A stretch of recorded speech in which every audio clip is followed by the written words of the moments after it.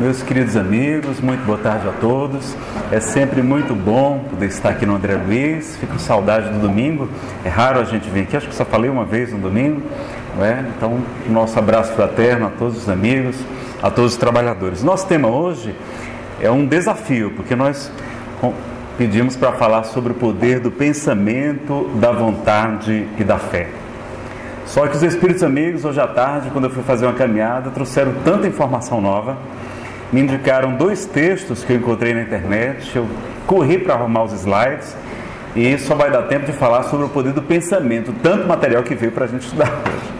Mas a gente vai convidar vocês depois para falar sobre o poder da fé. Eu acho que o poder da vontade vai dar para a gente dar uma pincelada importante, tá bom? Então vamos aos nossos slides. Para a gente começar, a gente vai ler uma mensagem importante para nós e que a gente encontra aqui no Centro Espírita André Luiz. Ela se chama Remuneração Espiritual.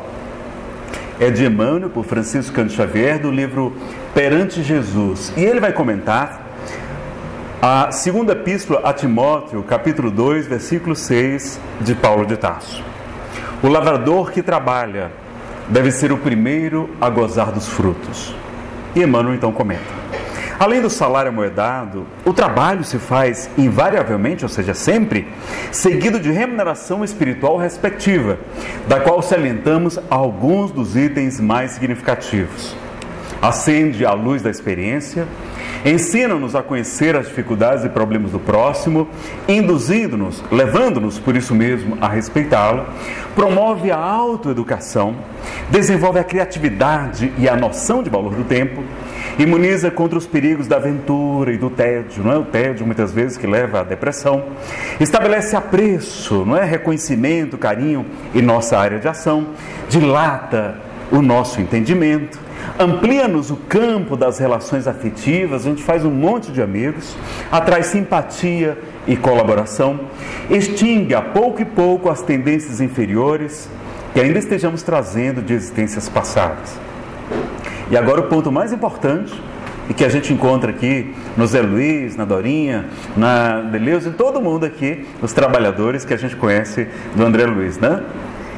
Quando o trabalho, no entanto, se transforma em prazer de servir, opa, agora é diferente. Não é somente trabalho, não, que já tem remuneração, mas é o trabalho com alegria, com prazer de servir, surge o ponto mais importante da remuneração espiritual Toda vez que a justiça divina nos procura no endereço exato para a execução das sentenças que lavramos contra nós próprios, segundo as leis de causa e efeito, se nos encontra em serviço ao próximo, manda a divina misericórdia que a execução seja suspensa por tempo indeterminado. E quando ocorre em momento oportuno, o nosso contato indispensável com os mecanismos da justiça terrena, Eis que a influência de todos aqueles a quem, porventura, tenhamos prestado algum benefício, aparece nosso auxílio. Já que semelhantes, né, já que eles se convertem em advogados naturais da nossa causa, amenizando as penalidades em que estejamos em cursos ou suprimindo-as de todo, se já tivermos regado em amor aquilo que devíamos em provação ou sofrimento para retificação e tranquilidade de nós mesmos. E a gente lembra que Kardec jamais usou a palavra karma na codificação, sempre prefere dizer lei de causa e efeito, mostrando que nós modificamos a nossa programação reencarnatória, como Emmanuel nos esclarece aqui. Podemos suprimir de todo, completamente, todos os resgates, se já tivermos regado em amor tudo aquilo que devíamos em provação e sofrimento. Reflitamos nisso e concluamos que trabalhar e servir em qualquer parte ser-nos-ão sempre apoio constante e promoção à vida melhor. Emmanuel Chico Xavier, mensagem Remuneração Espiritual do livro Perante Jesus. Bom, nós vamos falar um pouquinho sobre as definições e algumas citações sobre o pensamento, sobre a sua importância, sobre pensamento e sintonia. Tem até um livro de Chico sobre esse assunto, de Emmanuel, aliás, psicografado por ele. Pensamento e saúde, os fatores que interferem nos nossos pensamentos e a gente vai terminar por aqui falando sobre a vontade. Essa segunda parte A formas pensamento a gente vai falar um pouquinho também. Não vai dar tempo de falar sobre concentração mental. Fica como dever de casa a mensagem de André Luiz, o patrão dessa casa, pela psicografia de Chico Xavier, é muito importante para todos nós, inclusive para os médiums. Auto-obsessão e libertação, então, desses nossos próprios pensamentos que geram sentimento de culpa, que geram perfeccionismo, não é que nos fazem sofrer, que nos fazem estar em sintonias equivocadas. É, nos ligando a entidades também do mesmo jaez, que é aqueles pensamentos que nós estamos alimentando. Bom, o que é pensamento? Lá no livro dos Espíritos nós lembramos do fluido cósmico universal, que é o elemento básico do universo, com grande plasticidade, não é? E nós podemos dar formas ao fluido cósmico universal. Ele é fruto do intelecto, mas também recebe a influência da emoção. No livro Pensamento e Vida, Emmanuel vai dizer que ele é eletromagnetismo. A própria doutora Marlene Nobre né, traz pesquisas levantando teses dizendo que o pensamento seria semimaterial, tão importante que é, é o pensamento. Sabemos que tem uso até na polícia, nós vamos ver aqui, é? o caso da psicometria, que no livro Nos Domínios da Mediunidade, André Luiz nos ensina.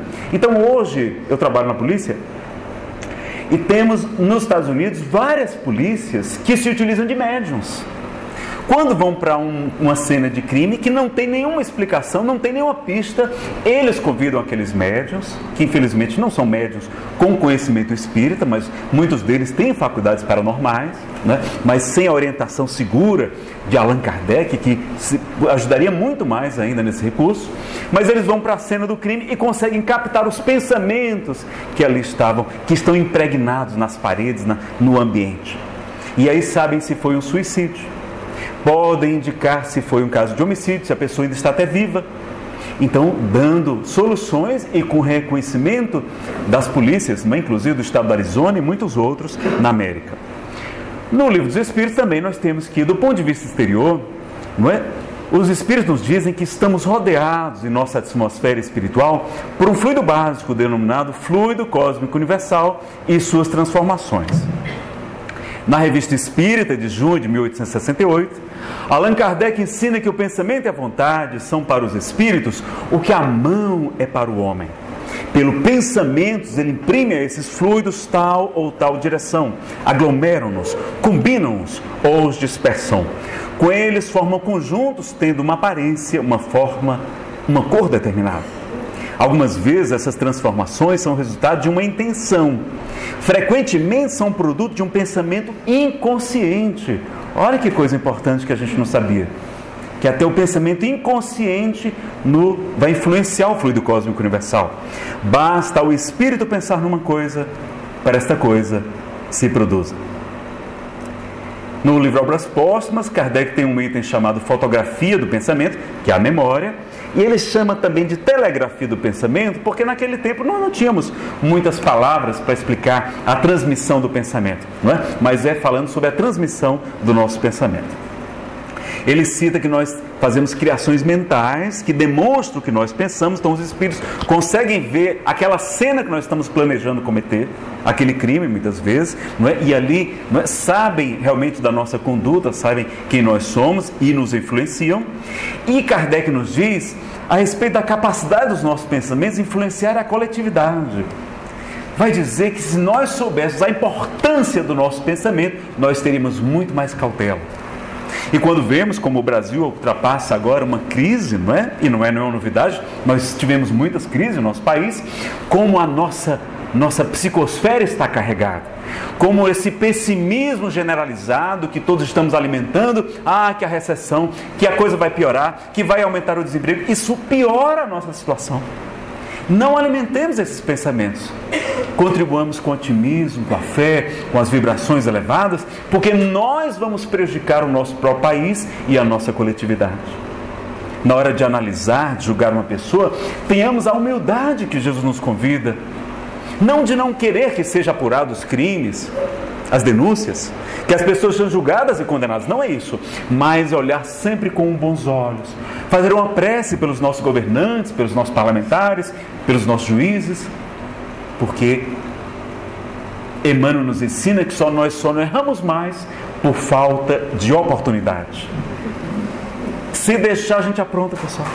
Se a gente estivermos no lugar dele sem o conhecimento espírita, nós estaríamos fazendo coisas muito piores, certamente. Então, ter essa consciência. Como uma vez Emmanuel ensinou para Chico Xavier o que é um criminoso.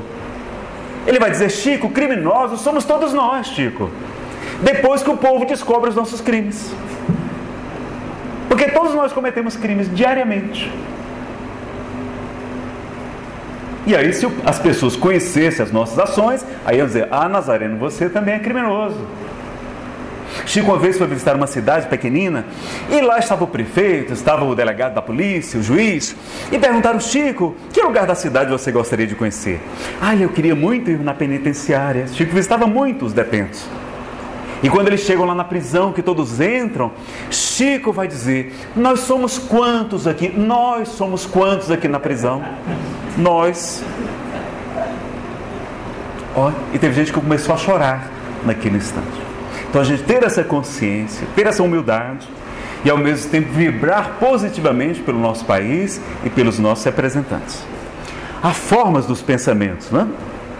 No livro Pensamento e Vontade, Ernesto Bozano vai trazer informações de sensitivos da metapsíquica, não são espíritas, dizendo que os pensamentos de preocupação parecem aqueles dos, das histórias em quadrinhos, né, que fica aquele redemoinhozinho assim, uma espiral, é. Dizem que alguns perceberam que os pensamentos de ódio são como projéteis, como os dardos mentais que nós atiramos nas pessoas que odiamos. Os pensamentos de raiva são como salpicos de lama pardacenta ao nosso redor. E os pensamentos de cobiça, de inveja, são como garras envolvendo a pessoa ou o objeto desejado. Já os pensamentos de paz e de amor assumem formas belíssimas, né, de belas e expressivas.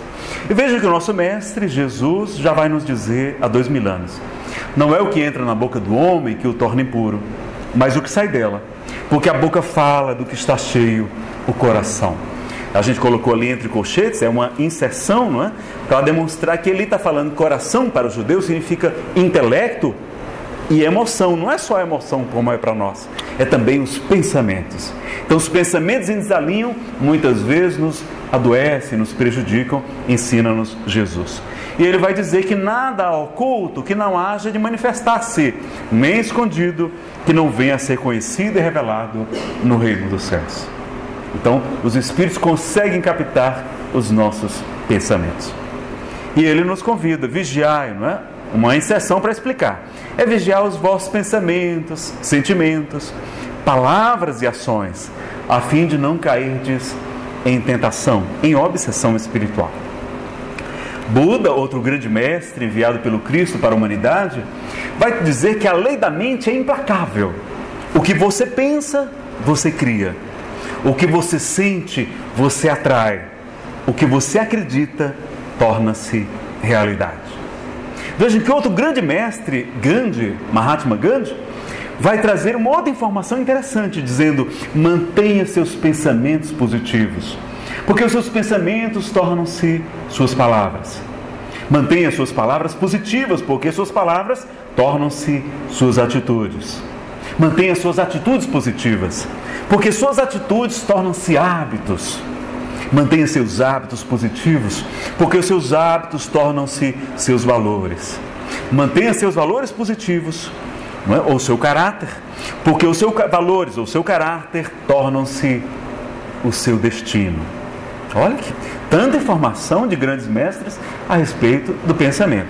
Emmanuel vai nos dizer que assim como a aranha vive no centro da própria teia, o homem vive submerso nas criações do seu pensamento.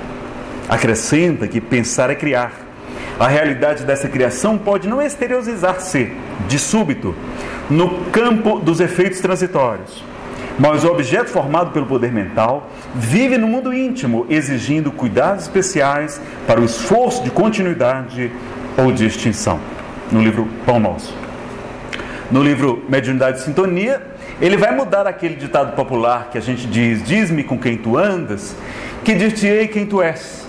Ele nos lembra que os nossos pensamentos ditam a nossa conduta e que, de acordo com a nossa conduta, amealhamos companhias através das quais somos conhecidos, principalmente por observadores do mundo espiritual. Então, diz-me o que tu pensas, que eu te direi com quem tu andas. as formas de pensamento. Nos domínios da mediunidade, essa é a capa, mais nova, essa é a, mais, a penúltima, não?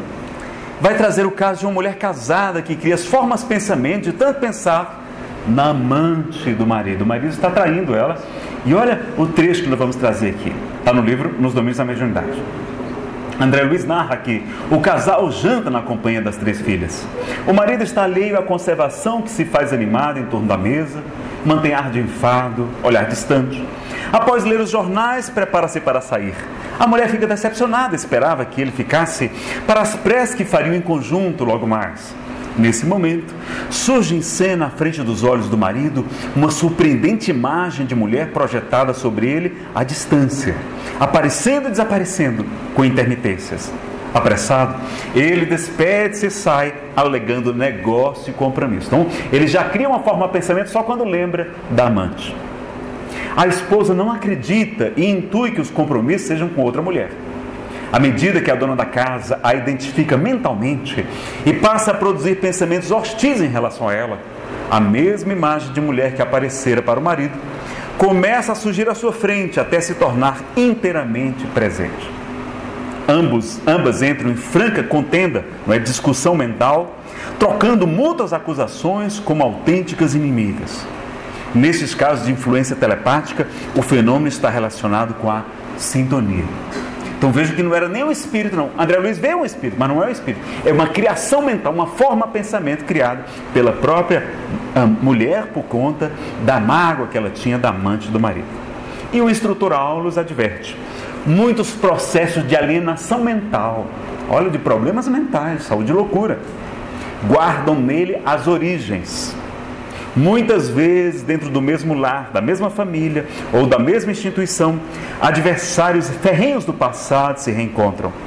Chamados pela esfera superior ao reajuste, raramente conseguem superar a aversão de que se veem possuídos, uns à frente dos outros, e alimentam com paixão, no ímã, né, no íntimo de si mesmos, os raios tóxicos da antipatia que, concentrados, se transformam em venenos magnéticos suscetível de provocar a enfermidade e a morte. Olha, doença e até a morte. Os nossos pensamentos, os nossos né, pensamentos equivocados. E ele continua: para isso não será necessário que a perseguição recíproca se expresse em contendas, em lutas visíveis. Bastam as vibrações silenciosas de crueldade e despeito, ódio e ciúme, violência e desespero, as quais, alimentada de parte a parte, constituem corrosivos destruidores. Ele nos ensina ainda que onde há pensamento, há correntes mentais. E onde há correntes mentais, existe associação. E toda associação é interdependência e influenciação recíproca. Então, aqui ó, a margem para os, os casos de obsessão espiritual, né? da influência negativa de um espírito mal sobre outro. Marlene Nobre nossa querida presidente da, Federação, da Associação Médico Espírita Brasileira, retornou ao mundo espiritual há pouco tempo. Citando André Luiz no livro A Alma da Matéria, diz que uma vez emitidos, os pensamentos voltam inevitavelmente ao próprio emissor, de forma a envolver o ser humano em suas próprias ondas de criações mentais. E muitas vezes podem estar acrescidos dos produtos de outros seres que com eles se harmonizam. Vocês lembram da colônia espiritual Nosso Lar, não é? Que o filme nos trouxe um retrato tão bonito? Então, ela foi construída pelo pensamento de espíritos superiores da época de Fabiano de Cristo sobre a cidade do Rio de Janeiro. Os espíritos superiores conseguem plasmar até colônias, cidades espirituais. No livro Roteiro, Emmanuel nos ensina que o pensamento é o gerador dos infracorpúsculos ou das linhas de força do mundo subatômico criador de correntes de bem ou mal, grandeza ou decadência, vida ou morte, segundo a vontade que o exterioriza, exterioriza e dirige. Em Evolução Dois Mundos, André Luiz, o mentor dessa casa, acrescenta que o pensamento atua influenciando e alterando por meio do que ele chamou de bióforos, que sofrem a ação do pensamento, a interpretação e execução das ordens vindas do núcleo, não é? Portanto, como é fácil de sentir e aprender, o corpo herda naturalmente do corpo, segundo as disposições da mente que se ajusta a outras mentes, nos circuitos da afinidade, cabendo, pois, ao homem responsável reconhecer que a hereditariedade relativa, mais compulsória, lhe talhará o corpo físico de que necessita em determinada encarnação. Não lhe sendo possível alterar o plano de serviço que mereceu ou de que foi incumbido, segundo as suas aquisições e necessidades, mas pode, pela própria conduta, feliz ou infeliz, acentuar ou esbater a coloração dos programas que lhe indicam a rota, através dos bióforos ou unidades de força psicossomática que atuam no citoplasma, projetando sobre as células e, consequentemente, sobre o corpo os estados da mente, que estará enobrecendo ou agravando a própria situação, de acordo com a sua escolha do bem e do mal. Então o pensamento influencia os bióforos é, dentro do citoplasma e ele inferencia as nossas células, que são como animálculos, como se fosse uma democracia dentro de nós. E a gente tem que ter essa consciência. Mas Nazareno, como é que tem tanta gente ruim que tem um corpo tão bom, tanta saúde? Às vezes precisa reencarnar com um corpo bem saudável para que o seu pensamento não comprometa a sua encarnação, que precisa não é, de uma demora. Já outros espíritos mais esclarecidos não pedem para vir, um pouco mais sensíveis até para que a doença, para que aquele pensamento se manifeste mesmo no corpo e nos ajude a nos alertar, a dizer que tem algo errado nos nossos pensamentos, no nosso proceder, no nosso falar, não é? A gente tem essa consciência também. E tem outros que já vêm até como médiums, que conseguem até captar o pensamento dos espíritos a importância do pensamento, nós não somos co-criadores, ensinam os Espíritos, e Jesus nos convida, não está escrito, vós sois deuses? Está lá no Salmo 82, vós sois deuses, filhos do Altíssimo, todos vós. Não? É? Então nós temos casos de até de gravidez psicológica, narrado pela medicina, eu conheci um caso, todo mundo ficou impressionado, a barriga cresceu mesmo da senhora, e a gente está dando os parabéns. Tem mulher que produz até leite, mas não estava grávida. Olha a importância do nosso pensamento. Né? A casa das doenças psicomáticas, cada psicossomáticas, cada vez os médicos estão dizendo como as nossas emoções, como os nossos pensamentos né, se manifestam também através das doenças e podem agravá-las. Nos ensinam que quem é otimista tem melhor saúde do que quem alimenta pensamentos pessimistas. Né? A neurolinguística também ensina isso a psicosfera, a atmosfera espiritual de ambiente. Né? Quando tem lugar que a gente vai se sentir tão bem, né? Quando a gente vem para uma casa espírita, para uma igreja, para um templo evangélico, um templo budista, aquela paz nos envolve. A gente percebe como o pensamento de quem está aqui, encarnados e desencarnados, influencia. Vocês já foram a um velório? A um sepultamento? A gente não fica triste? A gente pode estar alegre como for, pode ter tirado na mega cena. Mas se for para um velório, fica triste se vai para uma festa, está com os amigos, se vai para a tarde tortas, agora em maio, que dia que é? 15 de maio. Tem gente que já está obsediado pensando nas tortas doces, salgadas, né? A gente lá na tarde tortas, fica aquela vibração positiva, todo mundo feliz, contente, né? Olha que maravilha. Ah, ah, realmente, não é? Vocês podem, aqueles que quiserem, não é, participar e colaborar porque toda a renda da tarde de tortos vai ser revertida para os trabalhos sociais e a manutenção dessa casa. Né? Então a gente saber a importância também do culto do Evangelho lar, que os Espíritos nos convidam a fazer, pelo menos uma vez por semana, meia hora. É? No livro Nos Domínios da Mediunidade, André Luiz narra, do ponto de vista espiritual, tudo o que acontece na casa daquela senhora viúva, com duas crianças pequenas, passando muita necessidade mas com verdadeiras barreiras eletromagnéticas em sua casa, porque ela ali mantinha constante culto do Evangelho no lar. Verdadeiras proteções espirituais na nossa casa, na nossa família, nós temos que fazer. Porque muitos espíritos que nos desejam mal colocam em nossa casa aparelhos psíquicos, dizem alguns, colocam espíritos doentes, às vezes que desencarnaram desequilibrados, espíritos muitas vezes de pessoas que cometeram suicídio, que ficam ali em nossa casa, não é, provocando desarmonia, doenças, depressão é muito importante a gente fazer a faxina espiritual da nossa casa.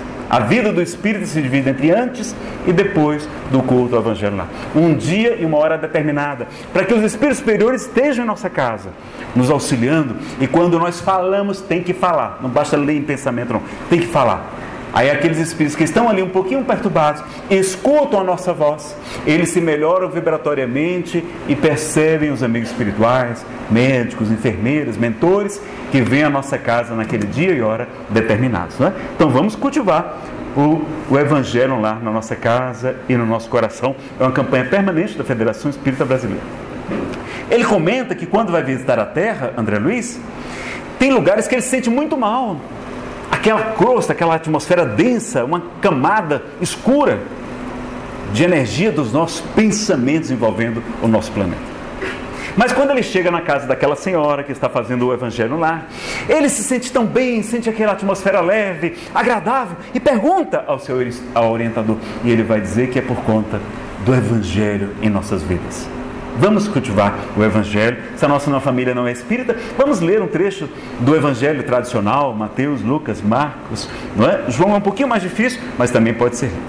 Bom, como é que o, o, o pensamento ele, ele, a gente pode influenciar? Ele depende de alguns fatores, como a superioridade moral da gente, a vontade, a inteligência, o desejo, memória, criatividade. Tudo isso aqui está no livro Pensamento e Vida de Emmanuel. Perda, pureza de intenções, né, pureza de coração, que Jesus nos fala Conhecimento, a superioridade intelectual, a fé influencia o nosso o poder do nosso pensamento, a sintonia, a receptividade daquela pessoa para quem estamos endereçando o pensamento. Depende do merecimento, depende também da nossa disciplina, da repetição, da fixação, aquelas ideias, não é? o monoideísmo, a gente pensar somente numa coisa, aquilo ali amplia também o poder do pensamento. Visualização de imagens, não é? A gente não tem na casa espírita imagens, não é? Porque o Espiritismo mostra que Deus deve ser adorado em espírito e verdade. Mas como às vezes uma imagem nos toca o coração. Não é? A André Luiz vai dizer que a imagem de Jesus é a mais harmonizadora que nós podemos conhecer. Então a gente tem, não é, a, a música que nos envolve, esses é, é, elementos externos também nos ajudam a fortalecer o pensamento, a prece, a fé. A vigilância mental, a linguagem, viciações mentais, influências de outras mentes, encarnadas ou desencarnadas, né? encarnados também. Exercícios mentais também podem amplificar o poder do nosso pensamento, como a meditação, as visualizações terapêuticas. Né? O projeto Manuel Filomeno de Miranda lá da Mansão do Caminho, de Edivaldo Pereira Franco, tem inclusive alguns slides sobre meditação à luz da doutrina espírita, além de Joana de Ângeles trazer muitas experiências a respeito de visualizações terapêuticas. As enfermidades psiquiátricas também alteram o nosso pensamento. Sabemos que tem estados alterados da consciência, como no estado sonambúlico, de êxtase. A paixão também é uma descarga de neurotransmissores que deixa a gente dopado, deixa a gente realmente não é fora do ar, fora de si. A gente se apaixona por uma ilusão, a gente não se apaixona pela pessoa, mas por uma imagem idealizada que não corresponde à realidade. Toda paixão passa seis meses, um ano, um ano e meio no máximo. E se morar junto, aí é que passa ligeiro. Vê que é tudo igual, só muda a impressão digital, pessoal. Então eu vou abandonar minha família por causa de uma paixão que é uma ilusão que é uma descarga de, de dopamina, de ocitocina e de metil alguma coisa mina que está me deixando fora do ar. Não, vamos esperar que ela vai passar. Vamos ter fé, não é? Para de ver aquela pessoa, para de pensar que vai, vai, vai resolver. Uso de drogas também altera o nosso pensamento, hipnose, sugestão, estimulação dos sentidos. E Buda vai nos ensinar o caso de um discípulo que não estava conseguindo meditar. Ele estava ensinando, e um deles disse: Mestre, eu não consigo silenciar minha mente. Eu penso nisso, penso naquilo, naquilo outro, não consigo silenciar meus pensamentos. O que, que eu faço?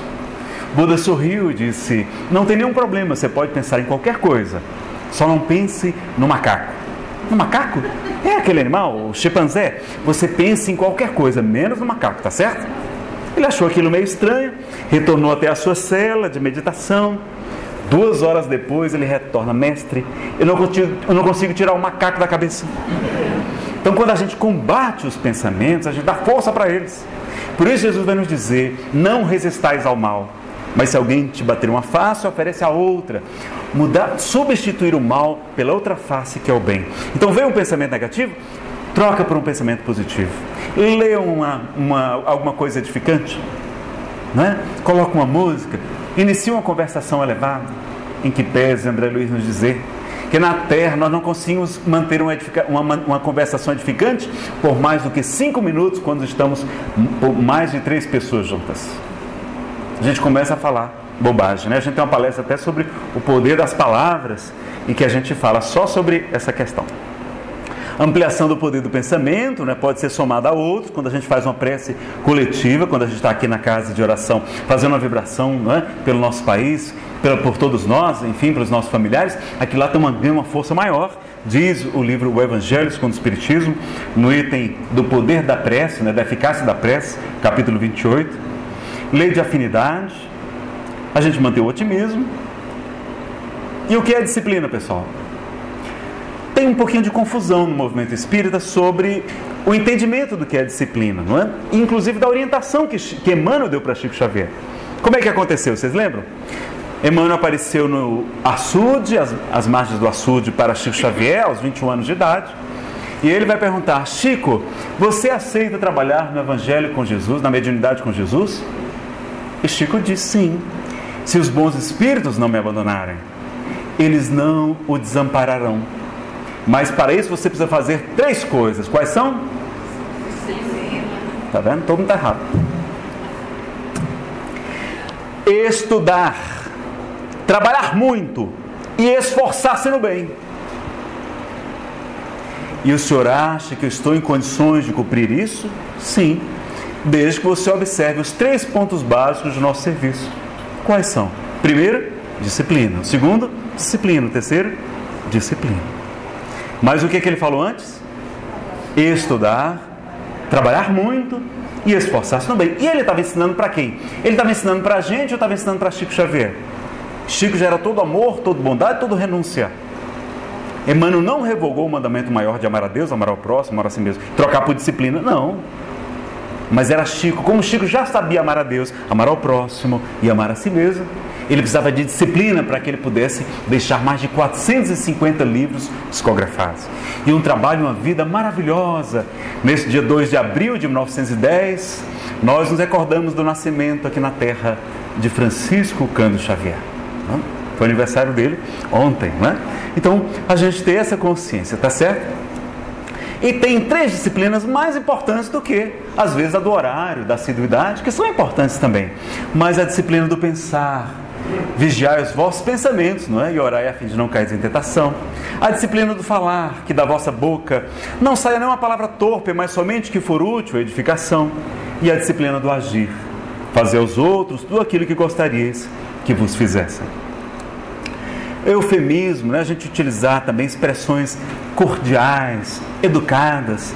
Chico era um mestre de eufemismos benévolos, não é? Vamos ver alguns deles aqui. Chico não chamava prostitutas, não. Mulheres da vida, diz assim: as nossas irmãs que comercializam as energias do sexo. Olha que doçura, não é?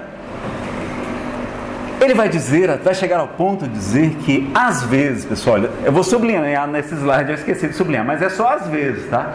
Mas às vezes é preferível uma mentira que consola do que uma verdade que fere. Um dia um expositor chegou até a sua cidade, disse: Chico, você tem que se defender, Chico. Estão falando calúnias a seu respeito, vocês estão sendo, está sendo difamado. Chico, a verdade deve ser dita, doa em quem doer.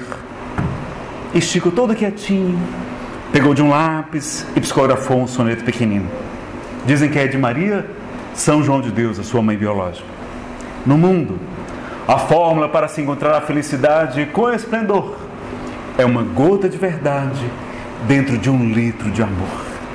Olha que coisa linda. No mundo, a fórmula para se encontrar a felicidade com esplendor é uma gota de verdade dentro de um litro de amor. E nos convida também o Evangelho segundo o Espiritismo no item a afabilidade e a doçura. Será que nós estamos sendo doces, afáveis, benevolentes, né? tendo boa vontade, sendo magnânimos, indulgentes, né? que significa clementes, misericordiosos? E além de estamos perdoando as pessoas que estão responsáveis pela, pelo comando do nosso país. Eu não sou a favor desse governo, não. Mas nós precisamos mudar a nossa maneira de nos relacionar. Tenho visto amigos espíritas se atacando em público nas redes sociais. comportamentos que a gente não, não aceita, meus amigos. É melhor calar então. Então não escreva nada. Deixa, não é? As apurações acontecerem, mas fica aquela guerra. Virou às vezes até um fanatismo religioso. Parece que a ideologia política virou fanatismo. As pessoas não aceitam nada e se atacam, se agridem. Eu fico morrendo de medo da violência nas ruas. A gente tem que orar pelo nosso país, não é? Pensamento e destino tem uma mensagem importante chamada Pensar de André Luiz Chico Xavier, no livro Respostas da Vida. Vocês desculpem eu estar lendo muita coisa, é que são mensagens importantes, não é? E o tempo é curtinho, eu não queria que vocês deixassem ver. Olha como o mentor dessa casa fala que o pensamento é importante. O pensamento é a nossa capacidade criativa em ação. Em qualquer tempo, é muito importante não nos esquecermos disso. A ideia forma a condição. A condição produz o efeito, o efeito cria o destino. Então, a ideia cria o destino, não é? A sua vida será sempre que você esteja mentalizando constantemente. Em razão disso, qualquer mudança real em seus caminhos virá unicamente da mudança de seus pensamentos. Imagine a sua existência, a sua vida, como deseja deva ser. E trabalhando nessa linha de ideias, observará que o tempo lhe trará as realizações esperadas. As leis do destino carregarão de volta, trarão de volta a você tudo aquilo que você pense. Como é que a gente melhora a qualidade do nosso pensamento? Também com estudo, com conhecimento. Conhecereis a verdade, a verdade vos libertará nos convites de Jesus. E por isso que as casas espíritas né, oferecem sempre, além das palestras, que é muito pouco, os ambientes de estudo com mais tempo, com mais profundidade, não é? maneira sistematizada, organizada, que essa casa tem vários dias da semana, não é, Zé Luiz? Quais são os dias? Todos os dias tem aqui, gratuitamente. A gente forma aquela turma, como se fosse uma turma de amigos de faculdade. É uma maravilha. Vamos fazer trabalhos sociais, se quisermos, etc. É uma maravilha. Então, a importância do estudo, do conhecimento, para melhorar o nosso padrão mental e as nossas companhias espirituais. Nesta verdade, encontramos tudo que se relacione conosco, tanto que se refere ao bem quanto ao mal. Observe e verificará que você mesmo atraiu para o seu campo de influência tudo que você possui tudo aquilo que faz parte do seu dia a dia, os amigos, os inimigos, as companhias espirituais, a família, os filhos, a sogra, a nora. A gente atrai com os nossos pensamentos, os problemas, as circunstâncias. Por que vocês sorriram quando eu falei sogra? A minha sogra é maravilhosa. Ela é católica, mas ela acredita em reencarnação. Porque ela diz assim: Nazareno, você só pode ser o meu karma de uma vida passada. É brincadeira, ela não fala isso não, ela é muito querida. Mas acredita em reencarnação. E a sogra da minha esposa é fantástica, meus amigos. A sogra da minha esposa é maravilhosa. Veja como a gente é injusto com as sogras, não é? E olha a parte mais importante da mensagem de André Luiz: pensar. Ele vai nos dizer: Deus é amor e não pune criatura alguma. A própria criatura que se culpa e se corrige ante os falsos conceitos que alimente com relação a Deus. Eu vou dizer com outras palavras: Deus é amor e não castiga ninguém, meus amigos. Nós mesmos somos quem nos culpamos e nos corrigimos na hora da reencarnação, na hora da escolha das provas, por conta do sentimento de culpa que nós alimentamos. Porque não acreditamos, não conhecemos esse nosso Pai, que é soberanamente justo e bom, não é alguém ninguém mais justo, nem a maior bondade do que a do nosso Pai infinitamente misericordioso, irmão. Aí a gente se impinge muito sofrimento aqui na terra por causa do sentimento de culpa, que é uma excelente tomada para a obsessão espiritual. Ensina o espírito Manuel Flamengo de Miranda na vasta série sobre a obsessão psicografada por Divaldo Franco. O bem eterno é a lei suprema, mantenha-se no bem a tudo e a todos, e a vida se lhe converterá em fonte de bênçãos. Em nosso íntimo, a liberdade de escolher é absoluta. Depois da criação mental que nos pertence, depois da gente ter criado um pensamento, é que nos reconhecemos naturalmente sujeitos, presos àquele pensamento.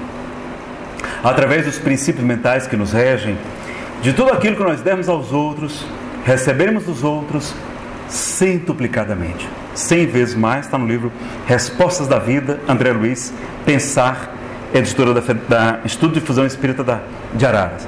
Aqui a gente vai deixar para o nosso próximo encontro sobre o poder da prece, a importância da fé, que vocês sabem, Jesus nos convida, do merecimento, a cada um conforme as suas obras, ensina-nos Jesus. Não é? Sobre o pensamento, a gente lembra também que a lei de Deus está escrita onde? Na consciência, no nosso pensamento. Aqui não vai dar para falar. Pensamento e vida, vamos só ler sobre vontade e depois vamos perder o medo para umbral. Vocês têm medo de umbral? Então a gente vai perder o medo hoje. Vontade. Olha aqui, pensamento e, e vida de Emmanuel, olha a importância da vontade aqui. Comparemos a mente humana, espelho vivo da consciência lúcida, a um grande escritório, subdividido em diversas seções de serviço. Aí possuímos o departamento do desejo, em que operam os propósitos e as aspirações, acalentando o estímulo ao trabalho. O departamento da inteligência, dilatando os patrimônios da evolução e da cultura. O departamento da imaginação, amealhando as riquezas do ideal e da sensibilidade. O departamento da memória, arquivando as súmulas da experiência e outros ainda, que tem mais, não é? Que definem os vestimentos da alma. Acima de todos eles, porém, surge o gabinete da vontade. A vontade a gerência esclarecida e vigilante, governando todos os setores da ação mental. A divina providência concedeu-a por auréola luminosa razão depois da laboriosa e multimilenária viagem do ser pelas províncias obscuras do instinto. Para considerar a importância, basta lembrar que ela é o leme de todos os tipos de força incorporados ao nosso conhecimento. A vontade, contudo, é o impacto determinante. Na vontade temos o controle que a dirige, não é? Dirige quem? É o cérebro, o dínamo que produz a energia mental, segundo a capacidade de reflexão que lhe é própria. No entanto, na vontade temos o controle que dirige a energia mental nesse ou naquele rumo, estabelecendo causas que comandam os problemas do destino. Sem ela, o desejo pode comprar o engano, aflitivos séculos de reparação e sofrimento. A inteligência pode aprisionar-se na enxovia da criminalidade. A imaginação pode gerar perigosos monstros na sombra. E a memória, não obstante fiel à sua função de registradora, conforme a destinação que a natureza lhe assinala, pode cair em deplorável relaxamento. Só a vontade é suficientemente forte para sustentar a harmonia do espírito. É? Vejam quanta coisa importante a gente teria para falar. Bom, pessoal, vocês têm medo de pumbral? Não. Tem não? Ou é porque já estão conformados que vão? Às vezes é isso, né? Aqui é uma imagem do filme Nosso Lar, não é? Claro, é uma licença poética. É, um palestrante, Frederico Menezes, ele é de Pernambuco, ele esteve em Fortaleza fazendo, participando de um congresso e ele tirou o medo da gente ir para Umbral. Ele disse assim: Pessoal, não tenho medo de ir para Umbral, não. E todo mundo ficou se perguntando por quê. E ele lembrou: É porque lá vai estar assim de gente conhecida. Vai encontrar o pessoal de Brasília, todo lá. O pessoal até aqui do André Luiz. Não é? Lá também. Zé Luiz, você aqui, meu irmão. Pois é, fazer o quê? Nazareno, você também, qual o problema, não é? Estamos aí. Né? E eu já falei para minha esposa, disse assim, Fernanda, quando eu desencarnar, coloca uma placa, um crachá bem grande, escrito trabalhador. Que é para quando eu chegar lá no umbral, não é o pessoal perguntar, mas Nazareno, você que era um palestrante internacional, não é Sobral, uma cidade do Ceará, você aqui no Umbral, eu vou dizer, é, mas vim aqui, mas faz serviço. Estou aqui, mas é a trabalho. Vamos aqui fazer estudo sistematizado da doutrina espírita, vamos fazer culto do Evangelho lá, vamos aplicar passes, não é? vamos fazer palestras. Floresça onde for plantado, nos convida de Valdo Pereira Franco, não é? E a gente já sabe, pelo livro Céu e Inferno, que a Terra já é uma espécie de purgatório. A gente já está no umbral. Aqui faz parte do umbral, não é verdade? Agora, a gente tem que analisar o que, que significa a palavra purgatório. O que, que significa o verbo purgar? Vocês lembram? Purgar significa purificar, limpar. Então, o purgatório é um lugar de limpeza do espírito. Então, se Deus, meus amigos, que é a inteligência suprema do universo, soberanamente justo e bom achar que a gente precisa ficar algum tempinho lá nesse local de desintoxicação, de limpeza, para a gente sair de lá melhor.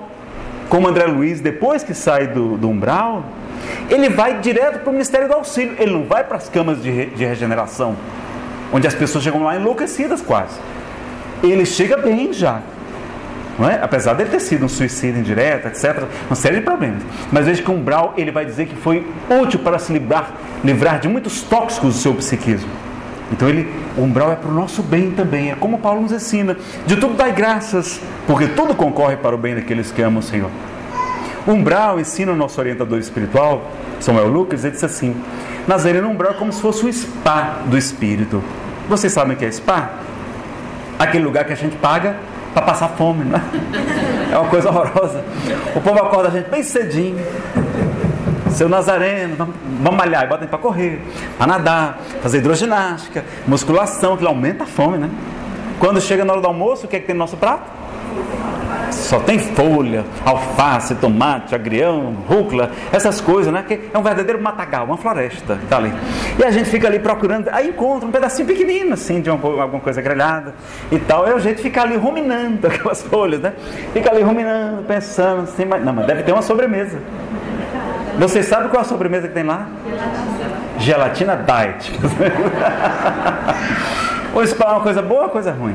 É uma coisa ótima, a gente emagrece, fica sarado, melhora a, a depressão, né? a atividade física é fundamental para a depressão, né? melhora a, a, pressão alta, melhora o diabetes, o colesterol, melhora a autoestima, melhora o sono, melhora a saúde, a osteoporose, tudo melhora com a atividade física.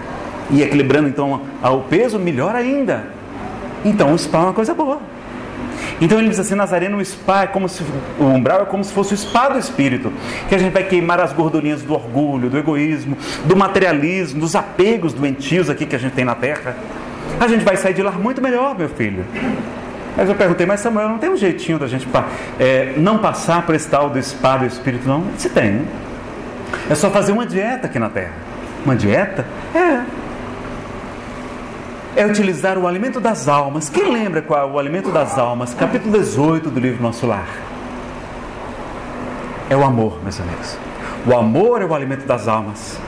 E a caridade é a sua manifestação. Então, se a gente cultivar o amor e a caridade, nós não precisaremos passar pelo umbral. Não é verdade que todo mundo passa pelo umbral. Quem fala isso não estudou direito. Está lá no livro Nosso Lar. Dona Laura uma senhora comum, mãe do Lísias, ela vai direto para a colônia espiritual Nosso Lar. Frederico Figner e muitos outros espíritos. Não é verdade que todo mundo vai para lá. Agora, quem vai para lá tem direito a ganhar o bônus hora, né? a remuneração espiritual, que está muito de acordo com a cada um segundo suas obras, em dobro na colônia espiritual Nosso Lar. E tem direito a uma alimentação com mais sustância, mais forte. Eu acho que é nessa turma que eu quero trabalhar. Pessoal lá no Umbral está assim de mães, de espíritos nobres, de mentores, que o ministro Clarencio frequenta lá, resgatando como resgatou André Luiz. A mãe de André Luiz, um espírito muito elevado, vai também, não é? está em vários momentos, mas ele não percebia por causa do pensamento negativo, do pensamento da lamentação, do murmúrio, da queixa, da reclamação, da muquerela. Murmúrio, queixa, reclamação e lamentação, que nós somos especialistas então a gente mudar os nossos pensamentos, não é? Uma vez Chico Xavier estava com umas amigas e ele disse assim: Minhas irmãs, quando eu desencarnar, eu quero ir para o céu. Ache, quando você for para o céu, lembre-se da gente, viu? Por favor, olha, não se esqueça da gente, não, quando você estiver lá. Tal. Ele sorriu e disse assim: Acho que vocês não estão entendendo. O céu que eu estou me referindo é uma sigla, significa Centro Espírita Umbralino. Eu quero ir trabalhar como médium no umbral, ajudando meus irmãos em sofrimento. Olha, quer encontrar Chico Xavier no mundo espiritual? Já sabe onde procurar. A gente com medo de ir para lá e ele pedindo para estar lá para ajudar a todos. Não precisamos ter medo do umbral. Temos que ter a coragem para começar a trabalhar no umbral daqui, não é? ajudando os que sofrem, para quando chegarmos lá termos a condição e a honra de poder trabalhar pelos nossos irmãos todos em sofrimento e encontrar a verdadeira felicidade, porque o reino de Deus está dentro de vós. E como Jesus nos convida, para nós encerrarmos, não está escrito, vós sois deuses? E em outro momento ele vai nos dizer: podereis fazer tudo aquilo que eu faço e muito mais, se o quiserdes. Vós sois o sal da terra, o fermento da massa, a luz do mundo. Brilha a vossa luz e resplandeçam as vossas boas obras diante dos homens, para que eles glorifiquem a Deus, nosso Pai, que está nos céus. Para a gente estar tá com o pensamento sempre elevado, compreendendo a grandeza do nosso Pai, de amor, de infinita bondade, justiça, quando a gente estiver aflito, preocupado, vamos nos perguntar como um dia o poeta José Soares Cardoso perguntou: Onde está Deus? Um poeta português, está no livro Momentos de Luz, de Ana Rocha. Onde está Deus? pergunta o cientista. Ninguém ouviu jamais. Quem ele é? Responde às pressas o materialista: Deus é somente uma invenção da fé. O pensador dirá sensatamente: Não vejo Deus, mas sinto que Ele existe. A natureza mostra claramente em que o poder do Criador consiste. Mas o poeta dirá com segurança, de que afirma porque tem certeza: Eu vejo Deus no riso da criança, no céu, no mar, na luz da natureza. Contemplo Deus brilhando nas estrelas, no olhar das mães fitando os filhos seus, nas noites de luar claras e belas que em tudo poço o coração de Deus. Eu vejo Deus nas flores e nos prados, nos astros a rolar pelo infinito. Escuto Deus na voz dos namorados e sinto Deus na lágrima do aflito. Percebo Deus na frase que perdoa, contemplo Deus na mão que acaricia, escuto Deus na criatura boa e sinto Deus na paz e na alegria. Eu vejo Deus no médico salvando, presinto Deus na dor que nos irmana, descubro Deus no sábio procurando compreender a natureza humana. Eu vejo Deus no gesto da bondade, escuto Deus nos cânticos do crente, eu recebo Deus no sol, na liberdade e vejo Deus na planta e na semente. Eu vejo Deus, enfim, por toda parte, que tudo fala dos poderes seus Descubro Deus nas expressões da arte. No amor dos homens também sinto Deus. Mas onde eu sinto Deus com mais beleza, na sua mais sublime vibração, não é no coração da natureza, é dentro do meu próprio coração.